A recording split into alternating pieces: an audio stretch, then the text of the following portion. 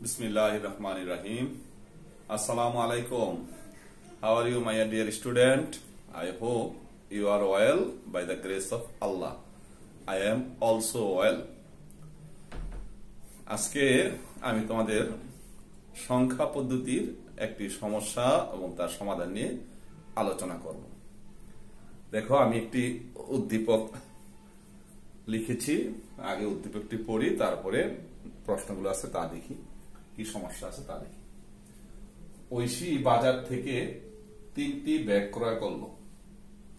প্রথম ব্যাগের মূল্য দুই জিরো ফোর টাকা। দ্বিতীয় ব্যাগের মূল্য ফাইভ এ টাকা। তৃতীয় ব্যাগের মূল্য এত টাকা। অর্থাৎ দুইশো টাকা। এটা আছে অক্টাল পদ্ধতিতে এটা আছে, তোমরা জানো হেক্সাডেসিমেল পদ্ধতিতে। এটা আছে ডেসিমেল পদ্ধতিতে। এখন আমাদের প্রয়োগের প্রশ্ন এবং উচ্চতর দক্ষতার প্রশ্ন, কখন তো কখন গেলাম না। প্রথম প্রশ্ন কি আছে? দেখো, প্রথম ব্যাগের মূল্য বিসিডি কোডে প্রকাশ করো। তিনটি ব্যাগের মূল্য বাইনারিতে প্রকাশ করো। তিনটি ব্যাগের মূল্য আলাদা আলাদা বাইনারিতে প্রকাশ করো তা আমরা প্রথম প্রশ্নটি আলোচনা করার চেষ্টা করি। প্রথম ব্যাগের মূল্য বিসিডি কোডে প্রকাশ করো। বিসিডি মানে হলো binary coded decimal binary coded decimal তাহলে এই কথাটা আমার খেয়াল রাখতে হবে এই কারণে। বিসিডি কোডে প্রকাশ মানে ডেসিমেল সংখ্যাকে প্রত্যেকটিকে আলাদা আলাদা ভাবে চার ডিজিটের বাইনারি কোডে রূপান্তর করতে হবে। বিসিডি কোডে রূপান্তর মানে কি? দশমিক সংখ্যার প্রতিটি ডিজিটকে চার ডিজিটের বাইনারিতে রূপান্তর করতে হবে। কিন্তু আমাদের এখানে যে প্রথম ব্যাগের মূল্য, তা দেওয়া আছে কিছে তা দেওয়া আছে অক্টালে।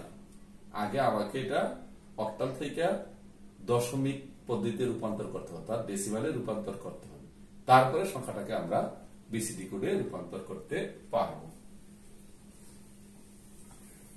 আসি আমরা প্রথমে, প্রথম ব্যাগের মূল্যটাকে আমরা, প্রথম ব্যাগের যে মূল্য আছে, তাকে আমরা আগে প্রচলিত পদ্ধতিতে দশমিক পদ্ধতি, অর্থাৎ ডেসিমেল পদ্ধতিতে রূপান্তর করি।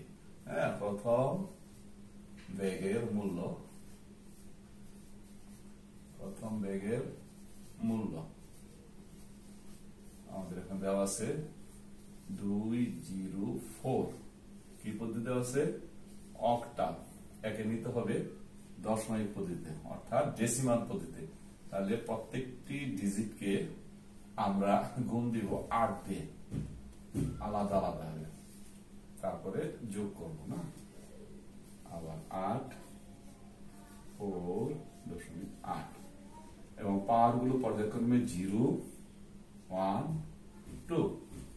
তোমরা এগুলো জানো? কীভাবে? দশমিক সংখ্যাকে অক্টালে রূপান্তর করতে হয় আবার অক্টাল থেকে কীভাবে দশমিকে রূপান্তর করতে হয়? এখানে আমাদের হবে দুই পুরুন আটারা চৌষট্টি আর এখানে হবে শূন্য পুরুন আট। এখানে হবে চার পুরুন যে কোনো কিছুর পাওয়ার যদি শূন্য হয়, তার মান হয় ওয়ান তাহলে আসো আট দগুণে ষোলো, আট দগুণে ষোলো, ছয় দগুণে বারো, আর একে তেরো। সরি আঠাইশ দোকানে কত হয়? আট দোকানে ষোলো, ছয় আছে এক। আর ছয় দোকানে বারো, আর হলো তেরো।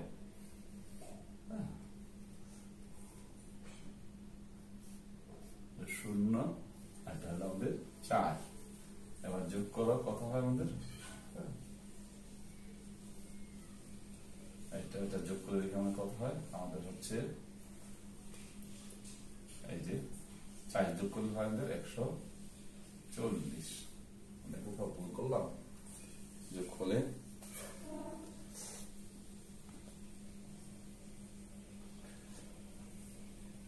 আট আটা চৌষট্টি চৌষট্টি যখন আমাদের একশো আঠাশ, আমরা একশো ছত্রিশ লিখছি কেন? দেখো আমার আসো। এটা হবে একশো আঠাইশ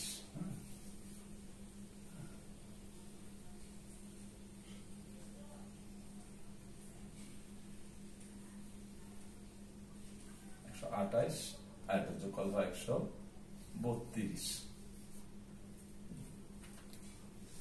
তাহলে আমাদের এই সংখ্যাটা কিসে রূপান্তর হলো? দশমিকে রূপান্তর হয়ে গেল। দশমিক সংখ্যায় রূপান্তর হয়ে গেল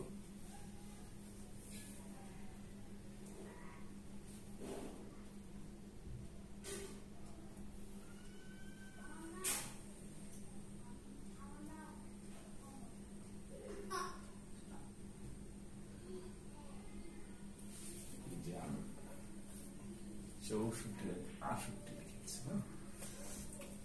চৌষট্টি আটটা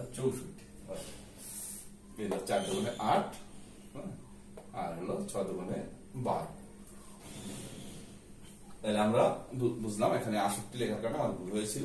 তাহলে আমাদের হবে আটাটা চৌষট্টি, আর এটা এইভাবে পূরণ করে আমরা পাইলাম একশো আঠাশ যোগ শূন্য যোগ চার একশো বত্রিশ।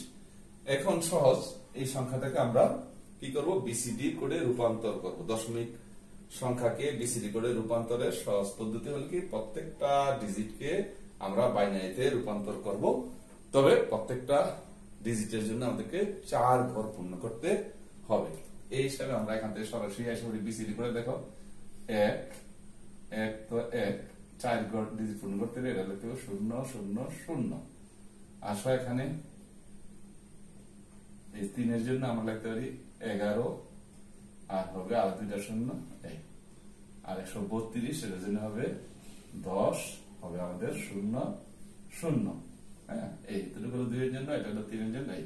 আমরা এটাকে লিখে দিলে আমাদের হয়ে যায় শূন্যগুলো লিখতেও পারি, না লিখলেও হবে। যদি শূন্যগুলো আমরা না লিখি, তাহলে আমাদের হবে ওয়ান শূন্য শূন্য, ওয়ান ওয়ান, শূন্য শূন্য, ওয়ান, জিরো।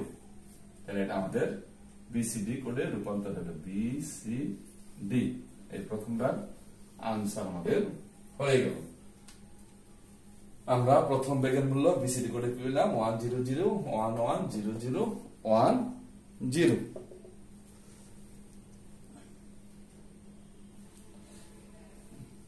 হয়ে গেল আমাদের।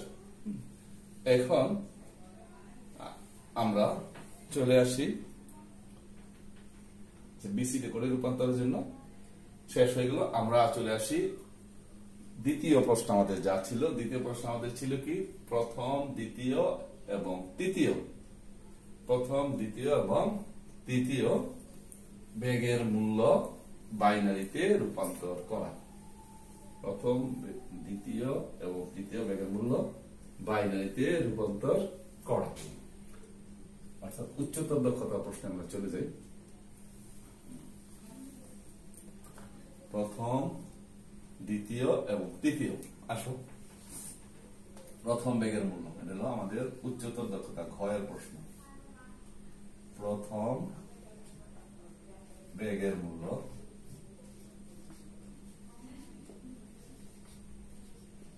মূল্য। আমাদের এখান দেওয়া আছে কত? দুই জিরো ফোর। কি পদ্ধতিতে? অক্টাল পদ্ধতি এখন এটাকে আমরা বাইনারিতে রূপান্তর করার জন্য প্রত্যেকটা ডিজিটকে শুধু বাইনারিতে লিখে ফেলব।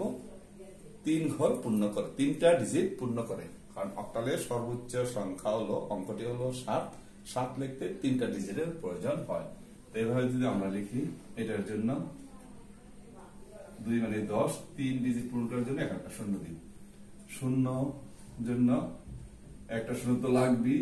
আরও দুইটা শূন্য দিয়ে আমাদেরকে তিন ঘর পূর্ণ করতে হবে।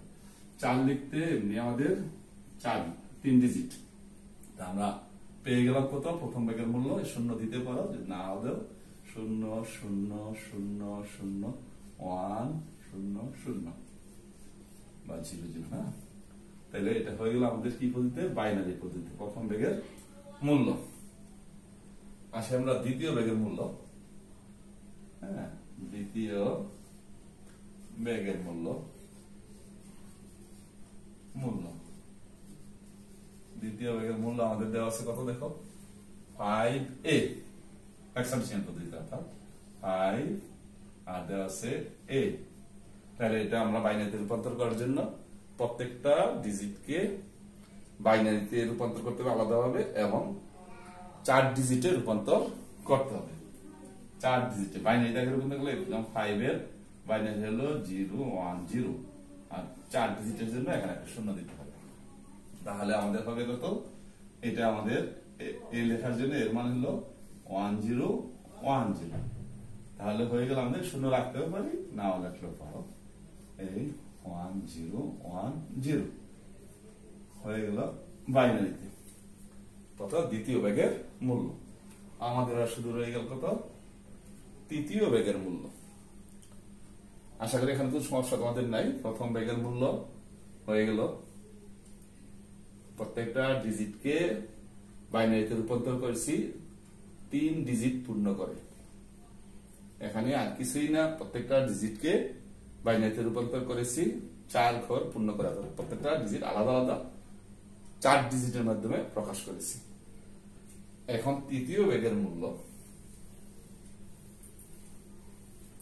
তৃতীয় বেগের মান দেওয়া আছে দশমিক পদ্ধতি অর্থাৎ তৃতীয় বেগের মান দেওয়া আছে সরাসরি ডেসিমেল পদ্ধতি বা দশমিক পদ্ধতি, তৃতীয়।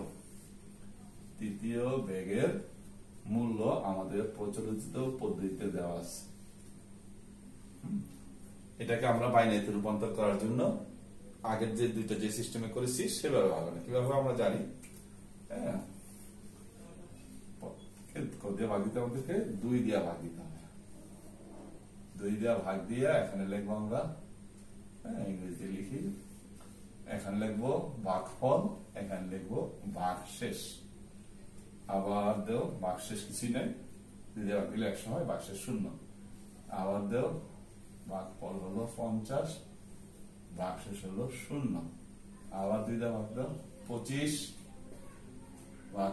ফল পঁচিশ শেষ শূন্য। পঁচিশকে আবার দুই দিয়ে ভাগ দাও হলো আমাদের বারো বা টুয়েলভ অবশ্যই থেকে গেল এক। আবার দ্বিতীয় ভাগ দাও ছয় শেষ শূন্য। কিছু নাই মানে শূন্য। আবার দ্বিতীয় ভাগ দাও তিন শেষ নাই মানে শূন্য। আবার দেও এটাকে দুই দিয়ে ভাগ এক দুইকে দুই, একবার যাবে। অবশ্যই থাকবে এক। তিনকে দুই ভাগ করলে ভাগফল হবে এক, অবশ্যই থাকবে এক। অবশিষ্ট এক। আবার সর্বশেষ আমাদের জিরো আনতে আবার ভাগ দিলাম, ভাগফল শূন্য, অবশ্যই থাকবে এক। তাহলে আমাদের ফলাফল হবে কি হবে ফলাফল এইভাবে নিচে থেকে উপরে যেতে হবে, অর্থাৎ হাই মান ল মানের দিকে যেতে হবে অর্থাৎ আমাদের ফল হবে এটা ছিল কি পদ্ধতিতে ডেসিমেলে এটা আমাদের রূপান্তর হয়ে গেল বাইনারিতে one one zero zero one zero zero zero one zero zero zero এটা এভাবে আমরা একটা চিহ্ন দিতে পারি হাই সিগনিফিকেন্ট বিট থেকে যাচ্ছে আমরা, তাহলে লো সিগনিফিকেন্ট বিট তাহলে আমরা তৃতীয় বেগের মূল্য বাইনারিতে পেয়ে গেলাম। বিষয়গুলো যারা ধারাবাহিকভাবে করে আসছো, তাদের কাছে অত্যন্ত সহজ লাগবে। আশা করি তোমরা বুঝতে পেরেছ। আর যদি তোমাদের কোনো সমস্যা থাকে, তাহলে কি করবা? কমেন্টে なからば。धन्यवाद साई